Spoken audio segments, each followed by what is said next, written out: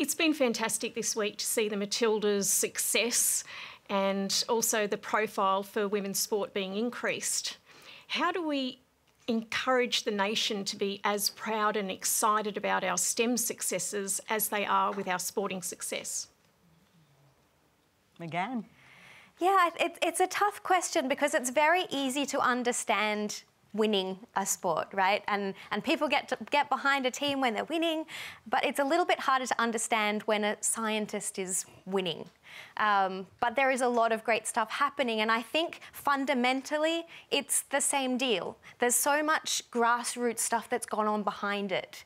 The same with the Matildas. I mean, there was there was so much work that went on before they became this success recently, and it's it's the same thing. So you know, you've got to you've got to get involved in museums, get involved in in science programs, the same way that you should get involved in your local sports team. Do we need a science World Cup is the big question. Uh, Dr Cathy Foley, I mean, it's an interesting comparison. Yeah, it is, and it's really great to see that we're um, celebrating Science Week, which is fantastic and a great opportunity for us to focus on what science means. So sometimes we just have to have celebrations, uh, being able to highlight the great stuff that we're doing, not just here, but uh, globally.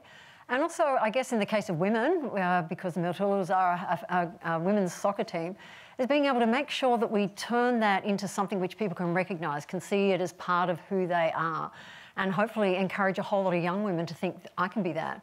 And getting out there, things like Science Week, having uh, you have us here tonight is fantastic, so thank you for that.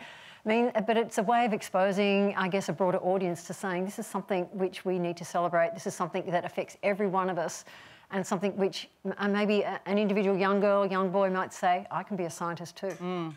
Adam, it seems that the Matildas have created a kind of magic. They put a little bit of magic sparkle dust over us all. Hmm. Uh, how, how, can science do that? Well, that sounds frightening, actually. I don't want science sparkle dust on me, but you know what I'm saying. Well, just quickly on the Matildas, first of all, if you if you are one of the four million people who hopped on the Matildas bandwagon during the week, that's great. There's a lot of room on the bandwagon. But as someone who used to publicly advocate for that team back when people would ask, "What's a Matilda?" Can I just say to everyone who's who's hopped on board, in the next year, just go to a couple of W League games as well. Or, or just, if, if your young girl's a bit sporty, get her to kick a footy around and see how it goes. I just hope it's not this. These same girls in the lead up to the 2023 World Cup, uh, 2019 World Cup, were playing in front of crowds of 2,000 people in warm up games in Australia. What we've seen in the last week, month has been fantastic. It was Dylan Alcott the uh, former Australian of the Year, a disability advocate, said, it's the closest I've ever come to standing up. That's funny, but let's not let this moment just be lost. And then it is, yeah, it's a matter of telling the stories. The things that Australians have done in my field of mathematics, we've got not one, but two Australians who've won the Fields Medal which is the Nobel Prize of Mathematics for career achievement under the age of 40. There's a mathematician at your university, Geordie Williamson, who's in regularly in discussions of the best mathematicians in the world. The things that we do in that space are absolutely magic. We just need to be better at telling the story to the next generation of young, nerdy maths geeks who want to hmm. come along and be the next Geordie Williamson, be the next Terry Tao. So, next time one of those maths geeks, Mark Scott, has one of those victories, do we need to have a public holiday for them, for instance? Is that the sort of time that a public holiday should be called? Well, I, I think we've really got to celebrate and I think we've got to tell the full story. You know, when I was working here at the ABC, I was told uh, women's sport would never rate on television. Now it's the biggest team sport ever shown on Did you believe television. them when they told you that? Uh, well, probably. I mean, there was just not a lot of media coverage, and it was a self-fulfilling activity, wasn't it? But now clearly proven wrong, and I think it's the same about coverage of science.